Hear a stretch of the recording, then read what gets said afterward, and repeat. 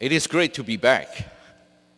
And uh, this, this has become a, a regular pulpit for me, and uh, I always appreciate coming back to Chungdong First Methodist Church and to preach at your English ministry service.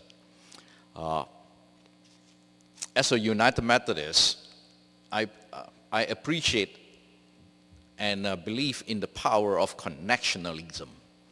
And uh, even though I'm coming today in my new capacity as the president of Claremont School of Theology, I see so many of my, my former students from, uh, from different institutions going back to my time at Pacific School of Religion, where I was teaching for almost 20 years, and then my students from, uh, from Drew Theological School uh, are here as well, uh, and, and uh, alums, as well as, as people from the denomination. I see uh, the, the Dhammaraj here as well in, in, in this worship service. And so uh, I appreciate the kind of connection everywhere I go, seeing people that are connected in so many, many different ways. I want to thank your, uh, your pastors, Dr. Lee, and also your senior pastor, uh, Dr. Kisong Song, for the kind invitation to visit and to, to worship with you as well as to bring the message to you this afternoon. Let us pray. And now may the words of my mouth and the meditations of all our hearts be acceptable to you, O Lord, our strength and our Redeemer. Amen. I am against rest. Let me repeat. I am against rest not for other people, that is, but for myself. That's what my family frequently accuses me of. But in my defense, I can hardly be blamed. You see, I grew up in a hard-working Chinese family in Malaysia. My parents lived through the Second World War my father started his automobile parts business when he was very, very young. Being Chinese and having lived through the Second World War, the Chinese ethic of hard, working hard was ingrained in him. For the most part of his life, he would work 16 hours a day, seven days a week. In fact, growing up as a child, I can hardly remember seeing my father taking a rest. What does, what does it mean to keep the Sabbath? Why is keeping the Sabbath so important? Why did this prophet in the book of Isaiah encourage the people to call the Sabbath a delight or to take delight in the Sabbath. The biblical text I'm using for our sermon comes from the book of Isaiah, chapter 58, verses 9 to 14. This text in the book of Isaiah is from the period after the exile. This was a time of reconstruction. Look at verse 12 a time of repairing the walls and restoring the streets to live in. More importantly, it was a time of the rebuilding of the community, the building of a new community. These few verses discuss two important rituals, that of fasting and the Sabbath. Much of the theology in these verses are not new. Part of it is old theology, yet ever so important.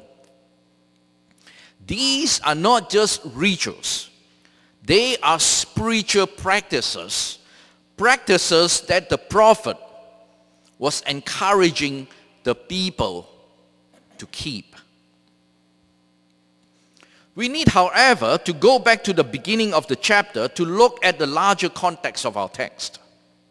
The prophet is called upon by God to announce to my people their rebellion. Or in the Jewish translation, the Jewish text that is translated, it literally says, declare to my people their transgression. In fact, God wants the people to shout out, to raise. He wants the prophet to shout out, to raise his voice like a ram's horn. Because there is an important message that God wants to be sure that everyone hears it. God wants the prophet to let God's people know their transgression and their sins. Their daily prayers and their fasts are unacceptable to God because these are not accompanied by acts of justice and mercy.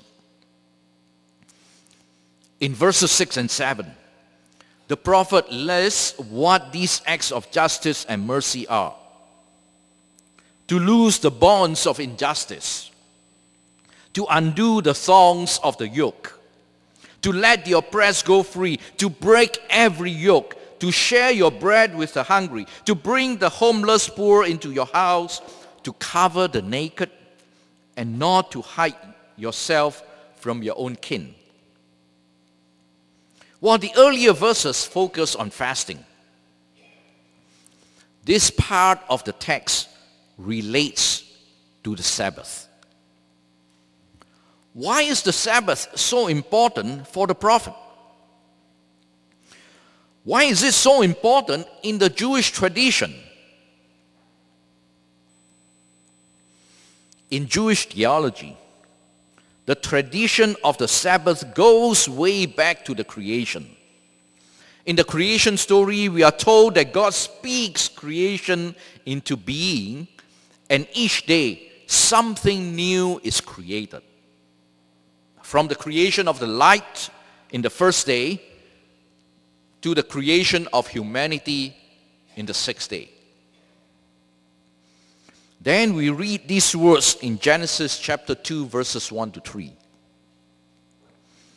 Thus the heavens and the earth were finished and all their multitude.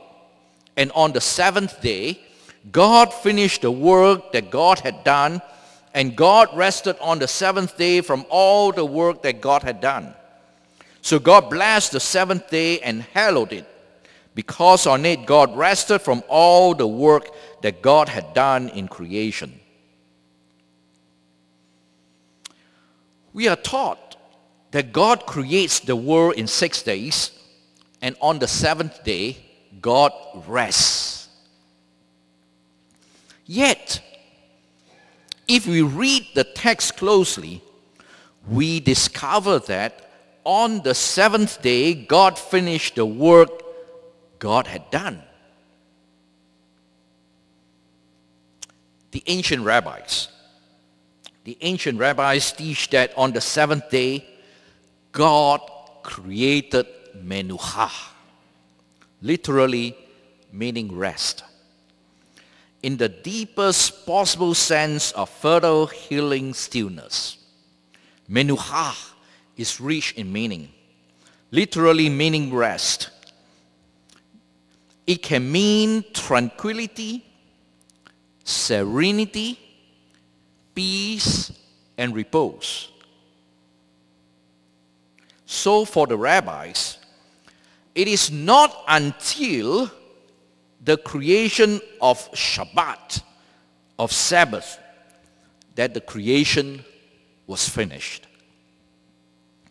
Only after the birth of Menucha, only with tranquility and rest was the cycle of creation made full and complete. The rhythm of work and Sabbath rest is embedded in this creation theology. It is God himself who models this rhythm, this rhythm of work and rest. Yet in the busyness of our modern life, we have somehow lost the rhythm between work and rest. In our drive for success, we are seduced by the promises of more.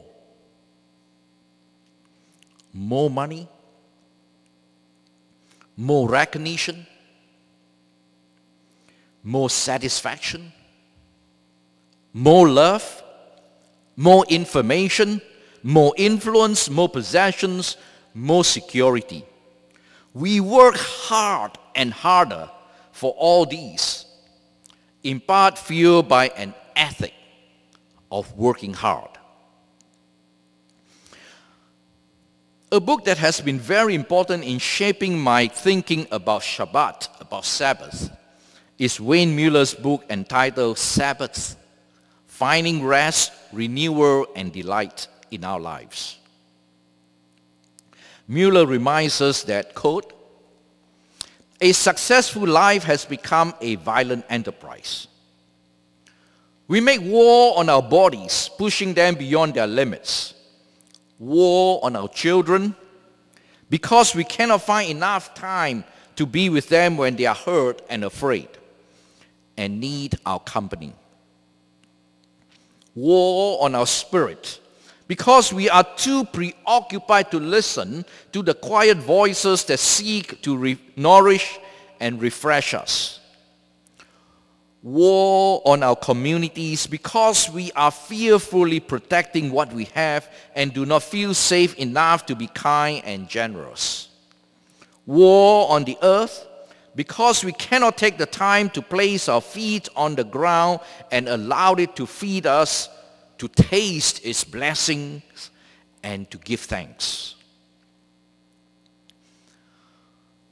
We work so hard that the four words, I am so busy, have become a refrain and a standard greeting. Too often we take pride in saying those words as if they have become a virtue. I am personally very guilty of this. In many ways, I have learned it very well from my father about the ethic of hard work, but have often gone overboard with it. I constantly encounter people who are guilty of the same. Moving from one thing to another, one meeting to another, with hardly any time to rest. I see my faculty and staff working hard all the time. I see my students working hard all the time, many without sufficient sleep and rest. In particular, I see it among many of my Korean students who often work doubly hard. Pastors work hard all the time to the extent that they feel guilty when they try to take a day of rest. I know also of people who are retired but have kept themselves very busy that oftentimes rest is not part of their living vocabulary. Muller shares this story of a doctor. Charles is a gifted, thoughtful physician. One day we were discussing the effects of exhaustion on the quality of our work. Physicians are trained to work when they are exhausted, required from the moment they begin medical school to, perf- to perform when they are sleep deprived, hurried, and overloaded. I discovered in medical school, Charles told me, that if I saw a patient when I was tired or overworked, I would order a lot of tests. I was so exhausted I couldn't tell exactly what was going on. I could see the symptoms. I could recognize the possible diagnosis. But I couldn't really hear how it all fit together. So I got in the habit of ordering a battery of tests hoping they would tell me what I was missing.